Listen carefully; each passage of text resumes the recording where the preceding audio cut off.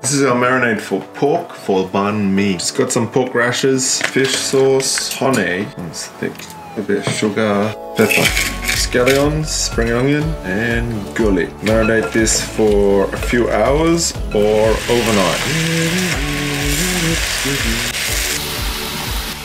Okay, so let's go. On some mayo, some pate. This looks good already. Add the mayo, cucumber, carrot, daikon. Got our pork, a bit of chili, coriander. Doesn't she look delish? Delicious. I want something